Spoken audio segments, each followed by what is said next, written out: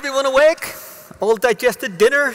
Ready to go? Well, I'm going to try and speak fast because I have a one hour talk that I'm going to fit into 45 minutes. So I'll try and rush through this a little bit. What am I going to talk about? Interaction protocols. We've heard protocols a lot. I'm going to talk about code particularly. We all like code? Everyone like code? Eh, so so? Slightly different code than what you think. I'm going to talk a little bit about the origin of the word and how it fits with protocols in particular. And we all have codes. So I like to write code, but one of my other codes is I don't like to drink bad coffee. Coffee needs to be good. And how do we get good coffee? And if you travel a lot, it can be difficult, particularly if you go to the United States. There's some really, really bad coffee in some US hotels. I'm convinced they send people on courses to make the worst possible coffee you can imagine. It's really, really dire. So, how can we cope with some of this at times? Well, we can get creative. How do you make coffee when you're stuck in a hotel room and there's not something good? Well, you could bring your own coffee pot. How do you heat the coffee pot? Well, there's normally an iron in a room, and maybe you can make use of your trainers that you've gone with when you take there. But, so this is kind of a fun thing to do, but it's often like how we write code. We often write code by trying to be clever. We sort of make things work together, not really how they're supposed to. So these things aren't supposed to interact like this. You're not supposed to put a coffee pot on top of your iron. It's not a really good idea. It's a bit fragile. It may fall over. It may break. You could burn the carpet. You could cover it in coffee. all these sorts of things. Our code is often like this. It's often very brittle, doesn't really work very well. And we get proud of this rather than sort of thinking, how do we do better? How do we do amazing things? Well, one of the quite amazing things we did this year as an industry is we took a picture of a black hole for the first time. Now, that looks something quite simple, but that was incredibly complicated. It took five petabytes of data to generate that image. It was collected from eight different telescopes. We could have shown the image last year, but one of the reasons why we couldn't is a lot of that data came from Antarctica. And in the winter in Antarctica, they have a code where you're not allowed to land an aircraft in the middle of winter because it's kind of dangerous. And they couldn't ship the data back to be analyzed because there was so much of it. So they physically moved the hard drives, hundreds of kilos of hard drives to do that. Now think about the history that gets us to this. We need to collaborate, we need to communicate, we need to work together, we need to interact across many different disciplines. That ability to interact is really what makes humans quite unique. And we've got an interesting history to that. So I want to go through a little bit of this history and show how it applies in how we write code today. Because I want to answer a fundamental question is, how significant are protocols to software development? And if we try to do things at scale and we try to become real engineering, this becomes very key. And there's some good examples along the way. So let's look at the word protocol itself. What does it mean and what's its origin? Because as an industry, we're terrible at using words. I'm always looking stuff up in the dictionary. And like the joke about me and the book and reading is I'm dyslexic, so I struggle with writing. So I'm constantly looking stuff up to understand it. And I'm just shocked at the mistakes we make as an industry, like random access memory. Do you really want random access to your memory? Just give you any random data back? That would be stupid. We want arbitrary access to our memory. There's, our industry is littered with these really bad usages of things. So please, if you do any work in the future and you put a name on something, at least look it up in the dictionary first.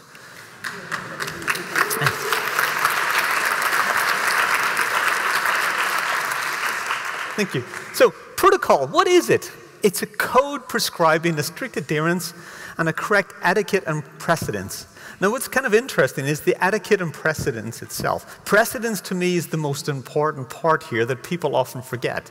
The order in which things happen is very important. You just don't want things to happen in any order. And this is like the origin of the word. In computer science, we'll be talking about the conventions that govern the treatment and formatting of our electronic communication systems. Often we just think of formatting, we don't think of treatment. And the treatment is about the etiquette and precedence. And that's what I want to explore. So let's go way back. Evolutionary biology and communication, like how have we successfully communicated and how we can do things as humans is fascinating. Because this transcends languages, it goes much further. There's lots of things that we do as humans. Like, let's take facial expressions, for example. Do that people who have never even seen somebody else make a facial expression knows what it means. And think, well, how can you achieve that? Well, do that blind people can show disgust, they can show shame, they can demonstrate happiness, all through facial expressions, yet they have never seen someone else do this. It's in our DNA. We have learned to do these sorts of things. We, have learned to communicate, and these means of communication lets us pass on ideas and lets us coordinate in very interesting ways. And there's been a lot of study into this. So Charles Darwin did a lot of work in this area besides the origin of the species work, particularly how we react in certain ways. And this has evolved over time into what we now call manners and etiquette and some of the history of this. So, etiquette is an old French word. It's used a lot around the time of Louis XIV. It means little card or little note. And it was used at the Palace of Versailles to let the dignitaries who come there know what they're allowed to do and what they're not allowed to do. Like, keep off the grass. That was a little note. It tells you what you can do, what you shouldn't do. And so these are our behaviors. This is sort of governs what we do. Now, it's a great subject area, and it's worth studying. So I'm going to try and pull out a couple of the highlights of it. There's three levels to which we apply manners as human beings. The base level is what we call hygiene manners, and they're there to help prevent the spread of disease. So we will demonstrate disgust. We will distance ourselves from things that we don't find very clean, not very hygienic. This will stop disease being spread. We isolate people who we see are infected with disease. We avoid them. It's wired into us. We can't help it in many different ways. And so we can use this. Like, How could we use this as computer scientists? Well, when we see certain things that we think shouldn't spread, we should demonstrate disgust. Now, I've seen some really horrible code in JavaScript, and I should just demonstrate even more disgust about that because we shouldn't have let that spread.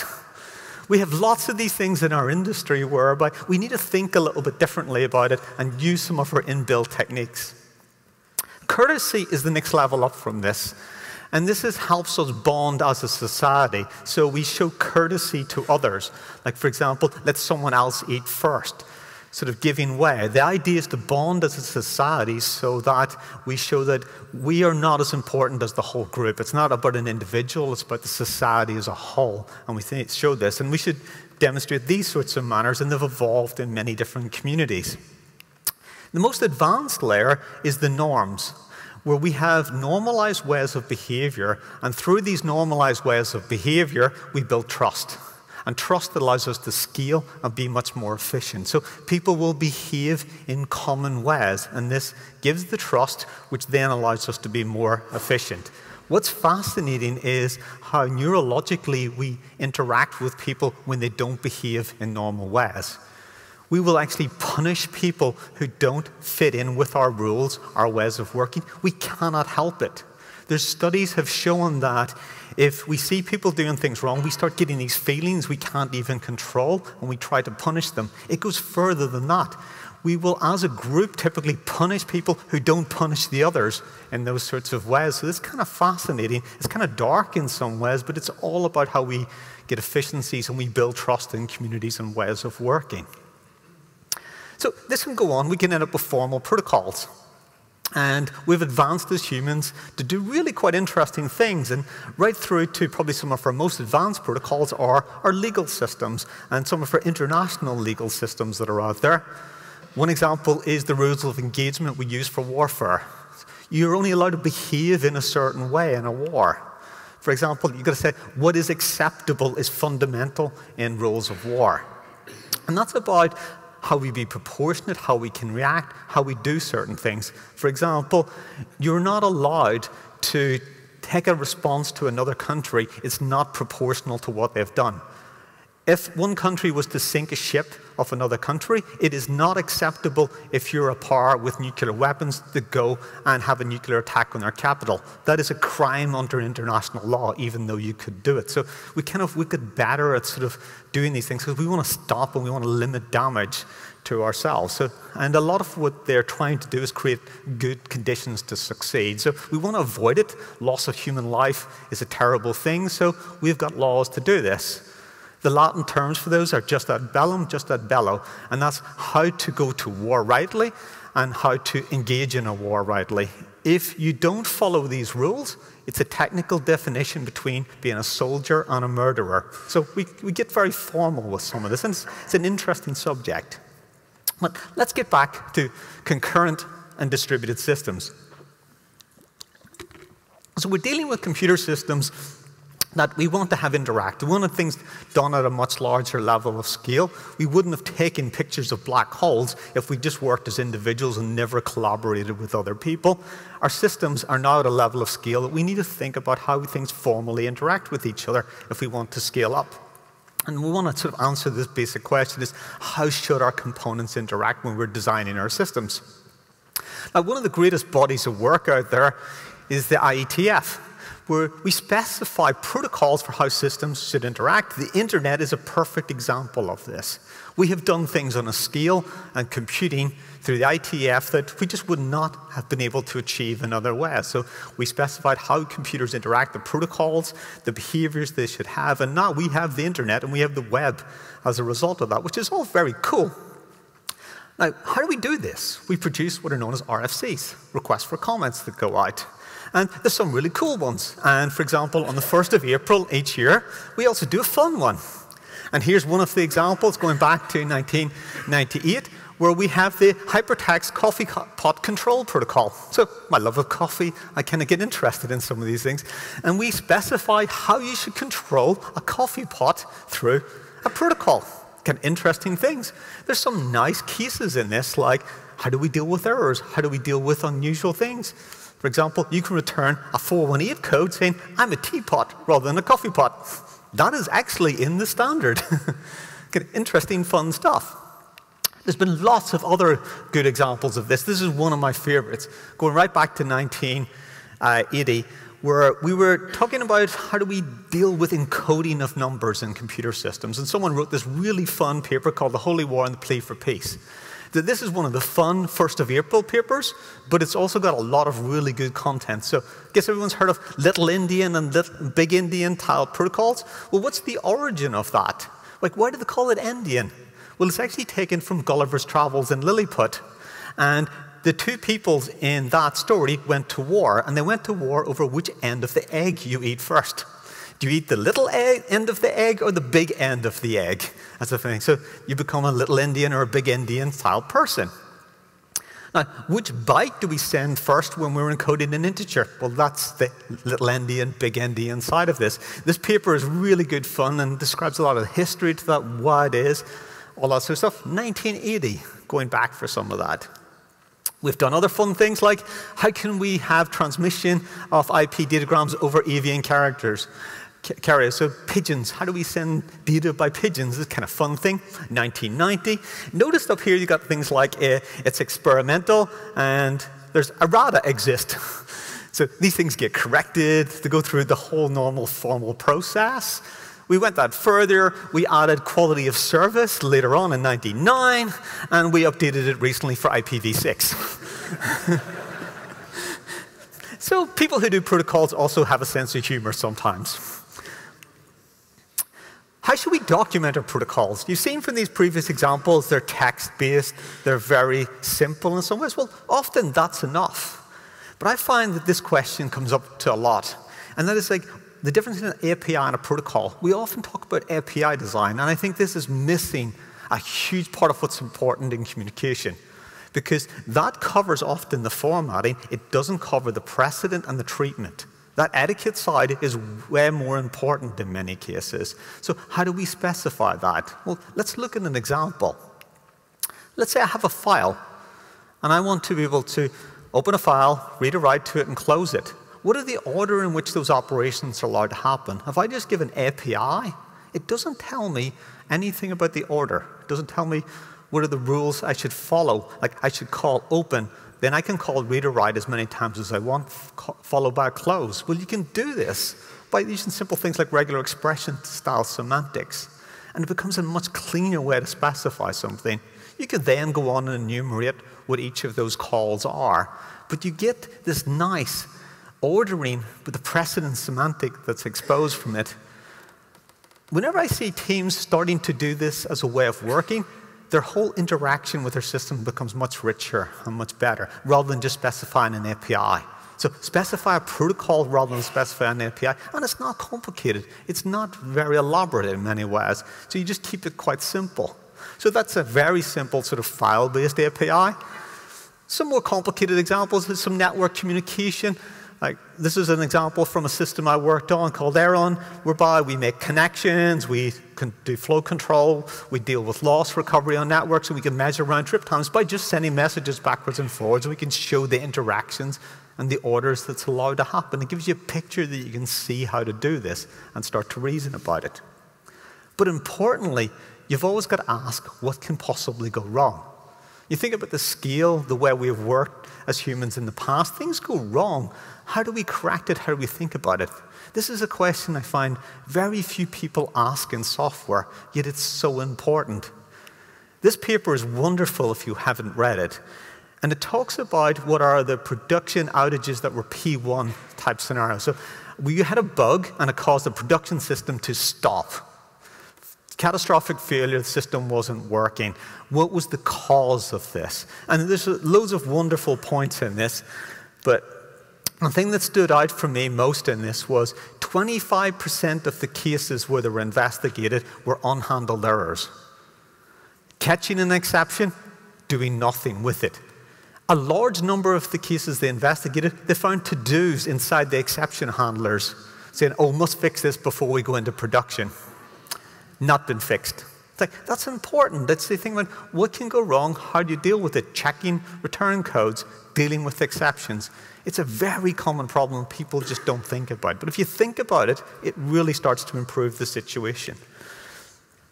Let's look at a more complicated example here now. This is a brilliant example from some of the design of protocol on a larger scale. Now imagine you've got a system, and that system is sharing data with a lot of different clients. So what I want to do is I want to display like a chat room, or I want to display a message board or a video server, something like this, where you get lots of consumers looking at the data from something, and they're needing to get that data, but there's certain problems with it. So if you add users, you have a scalability problem. How do you send the data to many different users? You've got to scale that up. Now, you can use something like TCP. And if you send data over TCP, TCP is expecting whatever transport is running on will be unreliable. So it's expecting data to be lost all the time. So it's actually quite aggressively looking for that and trying to address it. It addresses that by acknowledging all data and retransmitting if it doesn't get acknowledgements. Now, as you add users, not only are you having to scale up the sending of the data, which you can replicate out, you're having to deal with the scale up of all those acknowledgements coming back. And so you've got a, a problem here that just does not scale. The mathematics are against you. How can you solve this? Well, one way to solve it is to start using multicast rather than say something like TCP, so UDP multicast. So now you can push all of that distribution down into the hardware infrastructure and you can scale really nice. It federates out. It works beautifully at that level. But then you've got the problem of what happens if you get lost. If you get lost, you need to then get it transmitted back. Well, you don't want to start ACKing everything because you get the same problem as TCP. So the next obvious step is to negatively acknowledge stuff. So you send a NAK. You send a NAK if you get lost. You don't acknowledge everything, you just assume it's successful, but then you negatively acknowledge whenever something goes wrong and you ask for a retransmission. That does work better and is more scalable, up until the point where you start to realize that a lot of loss scenarios are correlated. For example, a packet being sent out from the source server overruns a buffer that's not big enough, it gets dropped. That means everybody doesn't get it, not just one or two of the parties that are interested. So, how do we start to cope with this? This becomes a difficult problem. Where you can start having control, you can start having some sort of coordination. And many of the designs to this required sort of central control to try and arbitrate what's going on, because that's how we instinctively do things in legal scenarios, in computing scenarios. We take control of something to try and put it right. Somebody took a very different approach to this.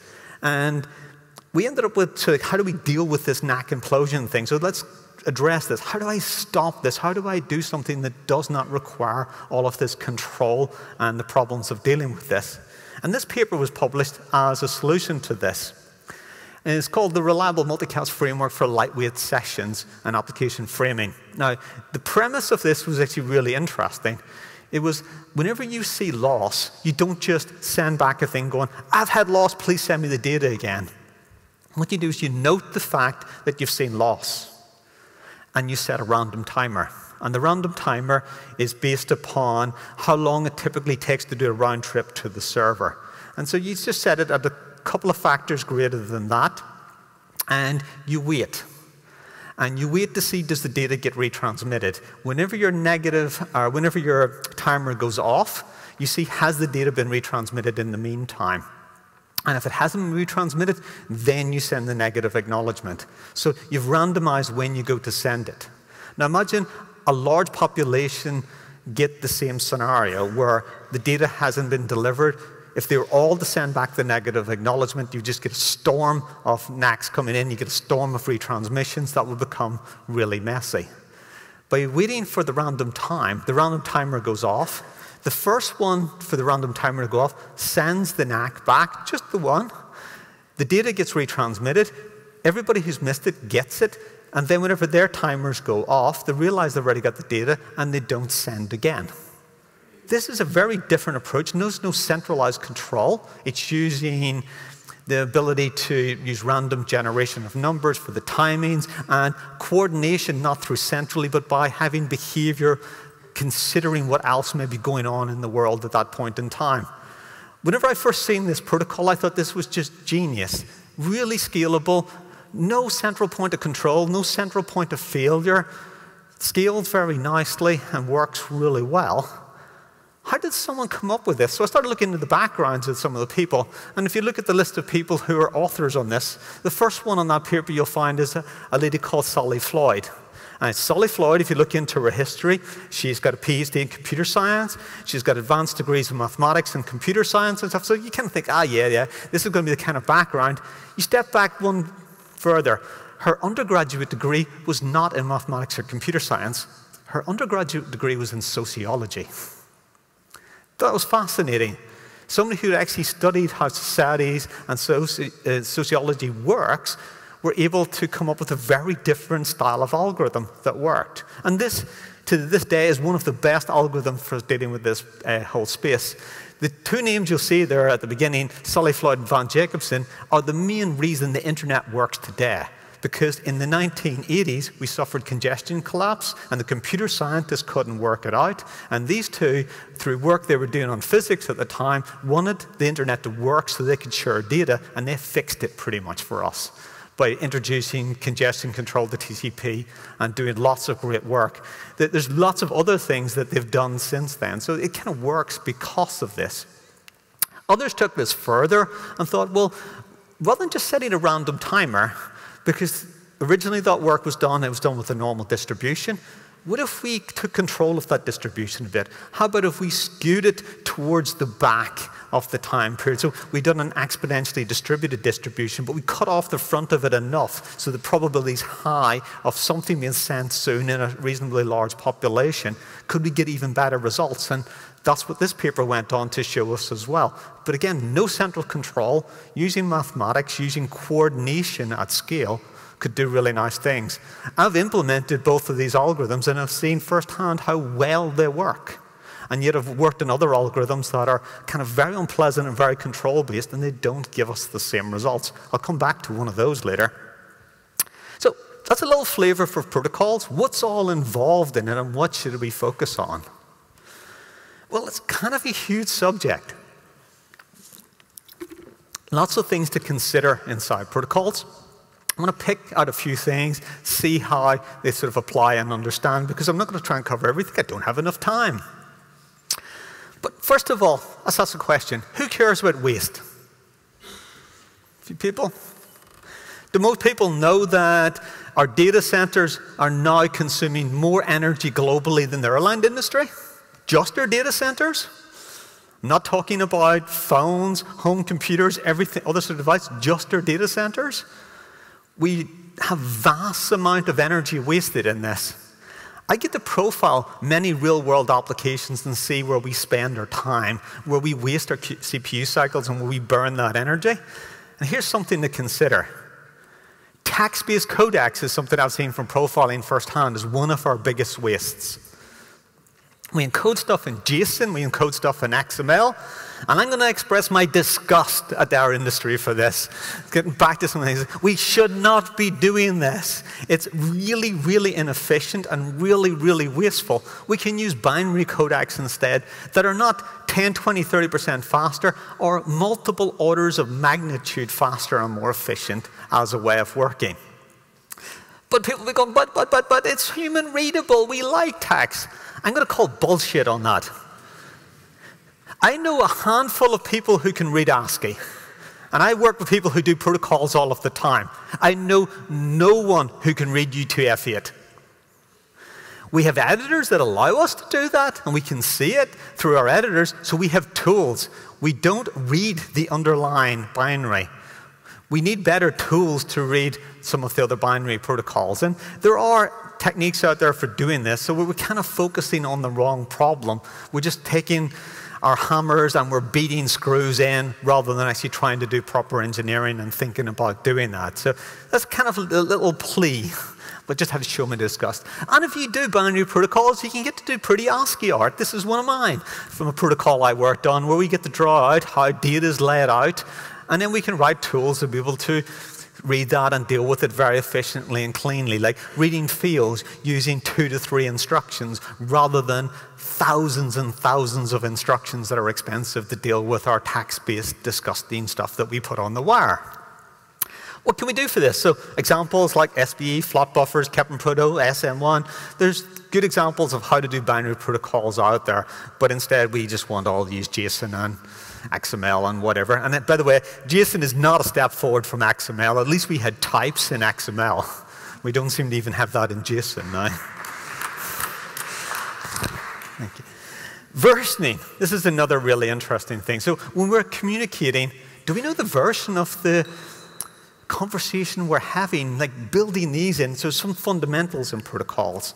So at a high level, we need a version. What conversation are we having? That's very useful. It's good to know that. The internet deals with this very well. Most applications sort of do. We drop down from that is, do we version our messages within that? So can we extend our messages? Can we do backwards compatibility? Can we upgrade systems partially and stuff? The things that we're having to do today, this becomes important. But more interestingly is versioning of state. Many people don't do this. They're not even aware that it's possible and the benefits that it gives us. Like, at a simple level, if you work in consensus algorithms, one example of this is you have to vote in elections, and you want to make sure that a vote that's coming in is for the current election, not for some previous election in time, and the packet got lost and delayed, maybe because the machine took a garbage collection pause or took a weird route through a network, or it started up again and replayed something that it shouldn't have. By putting the versions on these things, things become relevant, they get applied to the right thing. Pretty sort of simple stuff. But it gets more complicated. And uh, a brilliant example I find is working on concurrent data structures. People who write protocols that go onto networks are kind of getting this and they're building this in. This becomes a known thing. But in concurrent data structures, people often aren't. But it really helps if you do. Many to many queues are a really difficult problem in our industry to do it well and do it efficiently. And I've researched this a lot. I've written a number of them myself. And I made a lot of the mistakes. And I try to work around and realize that you get all these mistakes because things are not the versions you expect them to be. Really kind of nice to know this. But I didn't really work out how to do it. And then I came across this particular website, 1024cores.net by Dmitry Vyukov. He's based out of Moscow. And he had come up with a many to many queue where he versioned every state change in it. And that had a little bit of an overhead, But what it did to simplify things, it actually made a much more efficient, much simpler overall data structure because he just put versioning on everything. It's a kind of beautiful example of saying this. If you're interested, go have a look at that. Synchronous versus asynchronous communication. This one I find comes up an awful lot. Let's look at what happens when we communicate synchronously. We send a message, we get a response. We send a message, we get a response. Send a message, get a response. Notice how time is going out as we're dealing with that. Let's increase the latency. Something's further away over a slower network. We send a request, we get a response. Send a request, get a response. Uh-oh, I can't do my three calls because I've run out of time. It's become a problem. We're coupled to time. We're temporally coupled in the design by making things synchronous. And what's happening here is we're also blocking the system. We're having to get the operating system involved, putting threads asleep, getting them back. We're trying to work around this by adding fibers, by adding futures, all of these things that are dealing with the complexity of that. We're dealing with symptoms rather than dealing with the true underlying problem. Where if we think about it synchronous, asynchronously, we send a request, we send another request, we send another. Then we start getting the responses back we can get things done much more quickly, much more efficiently. If we increase the latency, what happens? We send our requests, and then the responses start to come back. And look, we don't get impacted by time so much. We've decoupled ourselves much more from time by thinking about doing things asynchronously. But what's happening here is we're doing non blocking calls. So if there's nothing to do, we can go do something else which is kind of nice. We can get more efficient with that. And we can track what's going on by just using state machines, which is something people should really go study. And that's another huge, wonderful subject in its own right, rather than the new shiny whatever. But again, you get this, but, but, but, synchronous is so much easier. Again, I don't think this is true at any level of scale. It's simpler in simple examples, but it doesn't scale because the complexities that you bring in with temporal coupling and the failure cases makes it much more complicated. The problem is like, we were, we're drawn to things that let us make progress quickly, but then we just deal with complexity later, where sometimes we need to do a little bit more fundamental work up front, and then things get easier in the long term. How we overcome some of that in the modern world is an interesting challenge. If you're designing systems like this, Think about the fact that synchronous means that things are blocking. You're stopped. You can't make progress. This limits what's going on. Well, you can break this by sort of managing that state by feedback. And this is going back to fundamental theory. Claude Shannon talked about this in the 1940s on information theory and how we deal with it. We have to manage feedback. We've got to manage whenever things go wrong. It's the what can go wrong. People make these calls and they expect them to fail. How about we just make them and we make dealing with the failure cases just explicit and something that's normal in the state machine? And we can make it easier by wrapping this stuff up. So we can design an asynchronous API. We can then wrap it with a synchronous API to sort of kind of weed the people off it two they don't want to change so quickly, and that's fine. Some people change at a different pace than others, but eventually we've got to show enough disgust that they maybe start coming the right way and start doing the right sorts of things and get a bit better at this. And we can see this even in the history of our protocols that we're using on the internet. So things that we tried RPC, we then have HTTP, and it goes over TCP. These are fundamentally the wrong protocols for what we're using them for today. Like HTTP is for fetching documents, yet we're building applications. RPC, every generation realizes it's a bad idea, and then the next generation has another go at it again. And we keep going around, we keep making the same mistakes, and maybe we will learn. We keep running at that wall with spikes. Sooner or later, some generation is going to say, Stop running at the wall with spikes. It hurts and people die. it's just not good. And like, so, how are we learning within the protocol community? So, TCPs had evolved to have TCP fast open, trying to get around some of the synchronous issues. We're now moving to protocols like QUIC Like if you're using a Google browser talking to a Google service, you're not using TCP anymore. It's not really a suitable protocol for that. We use UDP with QUIC running over the top of that. It's a much better fit. Like we had HTTP 1.1, we went with SPDY, then we go to HTTP 2. And the idea is like, let's, let's stop being synchronous. We need to go asynchronous with how we work. We made some mistakes with HTTP 2 because we didn't think about the failure cases, what can go wrong. And the fact that we only have one connection and if it dies, our browser pages don't render progressively. So we're having to fix that now with HTTP 3. And we've seen various things with TLS as well over time. And the latest 1.3 is actually a really quite nice piece of work. But the people who produce these sometimes forget that people who use these systems don't know the engineering facts that this is based upon example of this is we have an optimization now in TLS 1.3 where we can connect without doing extra round trips. So zero round trip connect to a server. But this is vulnerable to replay attacks if people haven't put versioning information in their protocols. Where if they put versioning information, they get a replay, they know they've already dealt with it and they throw it away. If they haven't, so you get a debit to your bank account and you haven't given it a unique identifier and you get the the debit again, well, if you just debit the account, you've got a problem.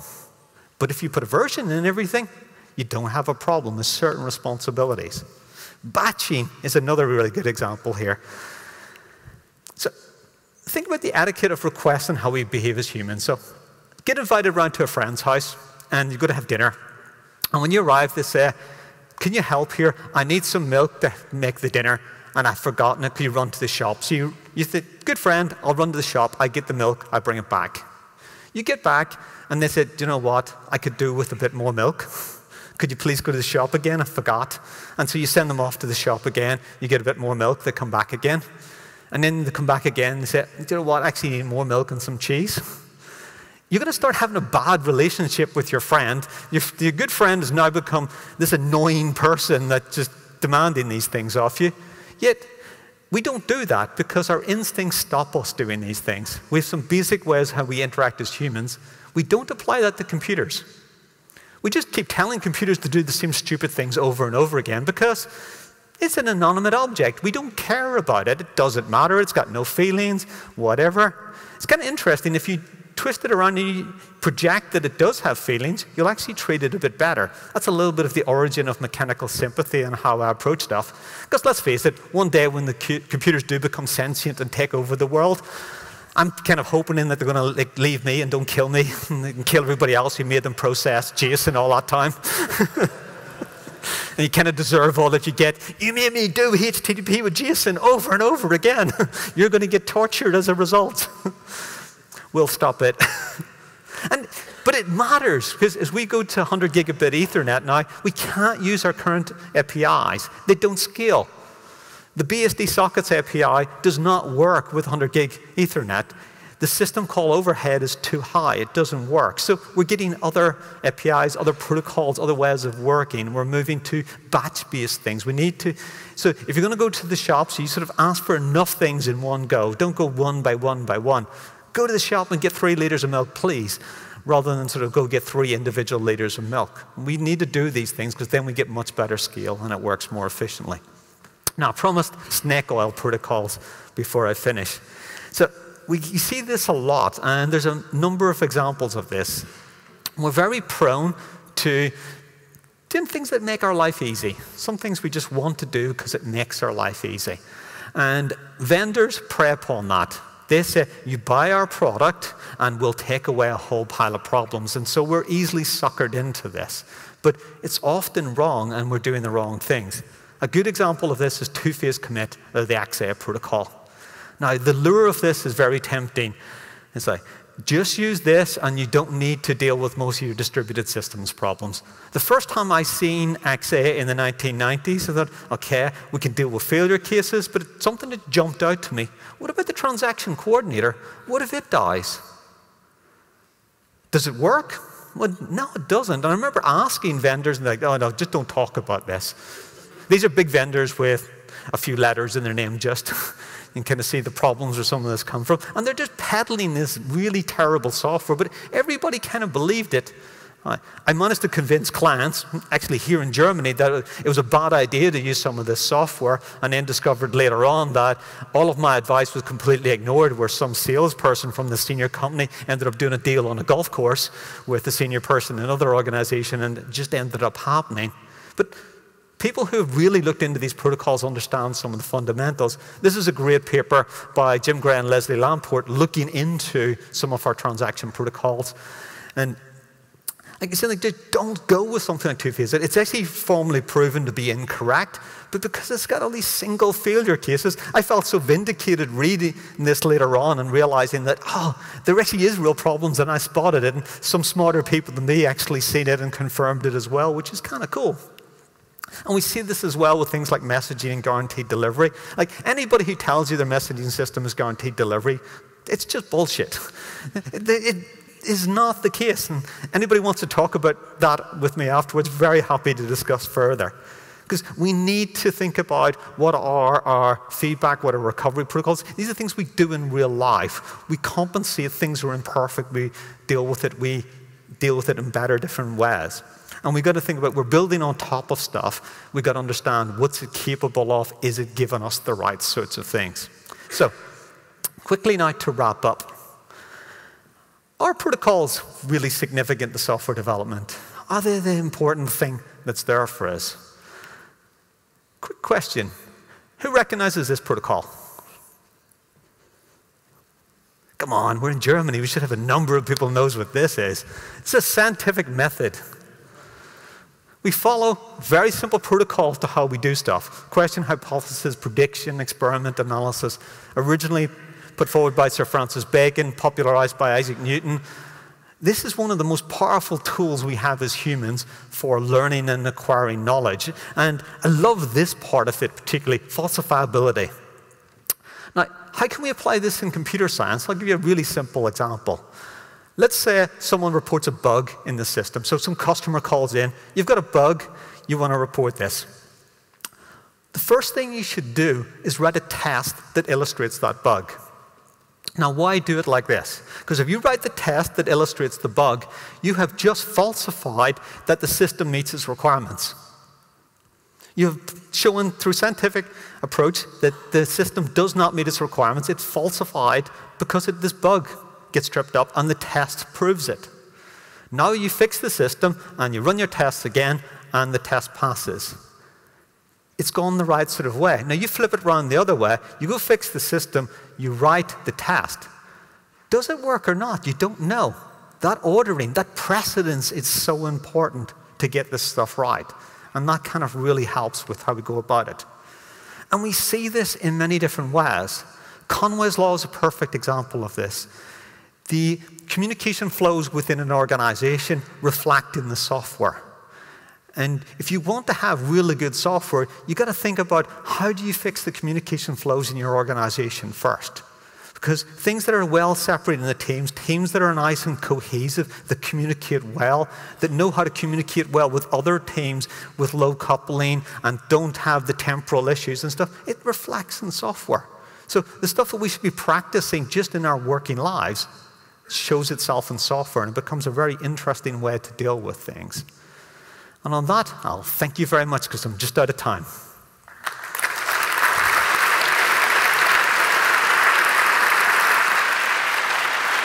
Thank you, Martin. I think there's one question that might interest a lot of people. Sure. Um, you said it was less wasteful to use binary codecs. What about using a text codec with a compression during transport? Very good question. So using text uh, with compression, it's a bit like, so let's say you're a meth addict and you sort of give up and you, are a heroin addict and let's go to methadone. That's kind of what you're doing with compression. You're kind of masking the problems, you're making it a little bit better. We're actually just get over it. Maybe that's a migration strategy, maybe it's a way to work. Binary is so much more efficient and so much cleaner. Now, you may compress on top of binary, but just dealing with uh, different protocols. Like one of the things we're seeing a lot in the modern world that has changed and people haven't become aware of is our CPUs have not been getting significantly faster. But all of our memory subsystems, all of our communication subsystems have all got much higher bandwidth. So focusing on compression tends to not be the right thing. There was a time like through our industry, decades of time where that was a really good thing. In the modern industry, we don't tend to have very much bandwidth issues anymore. Now, you do in some cases over mobile networks and various things, but within data centers, within other things, you don't tend to get bandwidth issues. So I think compression is a kind of misleading thing. Like, I can decode an integer in binary format in one instruction, and that one instruction will only take one cycle to run. If I'm going to deal with an integer encoding in text, I have to write loops running hundreds of instructions to do the very simple decoding of a text-based protocol. It's just not efficient in comparison. Okay. Thank you very much. Thank you.